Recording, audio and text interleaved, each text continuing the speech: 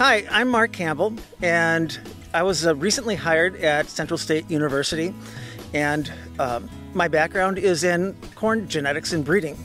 Um, I recently retired from uh, my university in northern Missouri, and I was looking for a place to continue doing my corn breeding and genet- genetics work, and Central State was a good place for me to do it. So, I am working in a breeding nursery, and I've got about five acres here of material that's the result of about 20 years of work that I've been doing, and trying to continue work, doing work, developing specialty starch corns and other kinds of corn that have nutritional benefits to them, and mainly to try to increase the amount of genetic diversity in, in maize, in corn, uh, important commodity crop, which people have realized there has not been very much uh, genetic diversity as of recently. Well, it has an altered starch. Um, the carbohydrate fraction of the starch uh, has been selected so that it does not digest nearly as quickly as normal cereal starches. Corn, wheat, rice all have a starch that breaks down into sugar fairly quickly. And people have been concerned about this for years, especially in the past few decades where people have been trying to address obesity and diabetes that's been increasing in the United States and throughout the world. And by trying to make the starch resist digestion a little bit more, it, you, you lower the glycemic index so you can avoid having high sugar spikes in your blood system shortly after you consume a, a, a cereal based food. This is all, it's, it's done with a number of genes that are naturally occurring.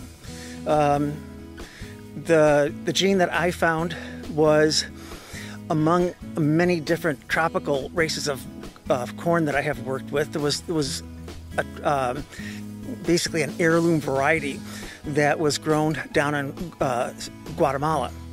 And it was among many tropical varieties that I work with, but, but this one had a gene sitting in it that, when you combine it with some other genes that have already been studied, result in this kind of corn that has a, um, a very low glycemic index.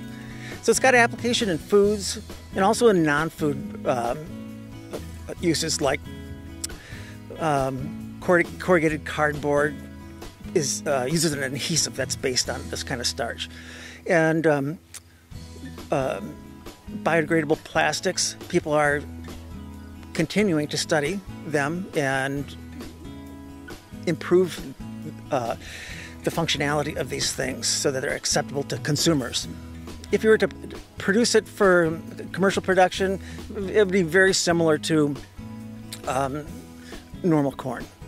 Uh, it has a distinct appearance to it that you, you, can you can tell it from normal corn. It's got a little bit more of a shinier color to it.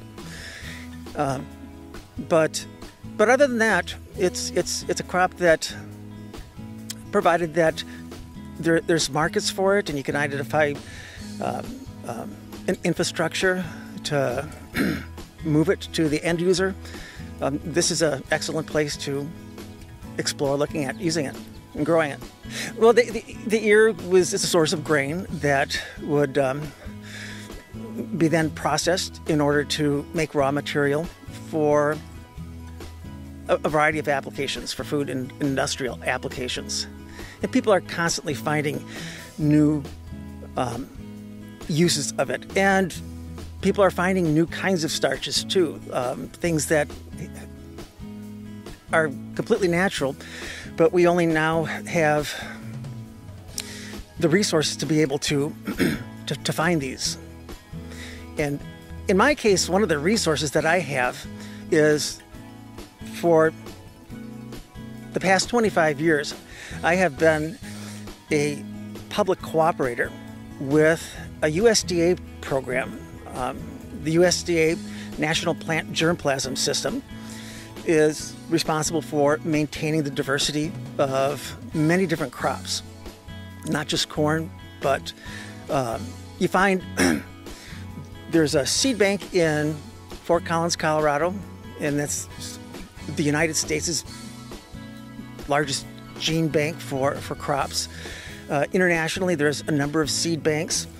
Um, probably the most famous is the uh, gene bank in Svel- um, Norway, where uh, the international cooperation in trying to preserve the seed in a cold area so you don't have to have freezers there. It just is, people call it the Noah's Ark of, of, of diversity. And, and, I, and I work with uh, USDA scientists. Um, there's a, in the, in, within the National Plant Germplasm System, there, there is uh, a, a, program, and it's, it's called the Germplasm Enhancement of Maize Project, or GEM, J E M. And this, this, this program, it's basically it's a collaborative effort between USDA scientists, um, scientists in the, in the public sector, and scientists in the private sector. And they work together and share information as much as they are able to um, in order to take a large collection of corn, in, in our case, which is 15,000 um, accessions, maybe more. And they systematically evaluated them to find the best performing 200. And then from that, they kept on narrowing down this set to about 50 that showed promise in increasing genetic the genetic base of corn in the United States. And it's in the pipeline with many compa- companies. Um, what exactly they are, they don't have to share everything, but they do share some germplasm in order to take some of this tropical material and get it so it's more adapted to the Midwest. Um, so, a considerable amount of time and effort from the public sector has gone into creating this basically open access material that I could take and then select for a particular trait. And the payoff of doing something like that is really making a good argument for our country or any country to invest in plant genetic resources. Because if you can come up with a product that has economic value from this diversity that's being warehoused in Fort Collins, it makes a more compelling argument that we need to be making sure that we fund these uh, these facilities. I always I always tell people my job is to create the material and involve other people in evaluating it. I try not to make any claims about it. I know where the interest is, and I know what I have as far as genetic diversity. I, I, I uh, in the GEM program, uh, they avoid using transgenes. They avoid using GMOs just because they don't want to deal with the legality of it. And the main purpose of it is to look at the diversity, the natural native diversity that's out there. So, what I have at this point um, it, it's it's non-GMO. It's it's all natural. These are naturally occurring genes that just have through uh, conventional breeding that people have been doing oh, since well. There's records of Native Americans having done hand pollinations using deerskin bags. I, I think um, I read somewhere. There, there's some concern that a lot of the genetics is in the hands of a few companies, and there's there's concern about not really having a lot of choice. Um, as far as GMOs go, there's a place for it, I believe. That's that's a personal thing, but this kind of work can be picked up and a and a company could integrate a transgene in it if they would like to, or if they wanted to make a non-GMO. This is this is wonderful building material for a program designed at uh, creating a non-GMO. If if that's the target audience that you'll be marketing to. So everyone benefits, and this and the GEM program has released lines that do exactly that. Have increased resistance to corn borer and um, um, and, and also just having the diversity that's near a stage where you can pull it in to start looking at the commercialization of it. Um,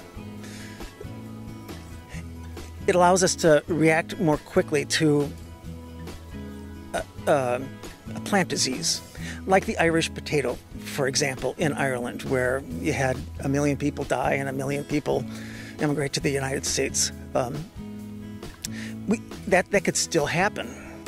Well, you can uh, contact me at uh, mcampbell at centralstate.edu.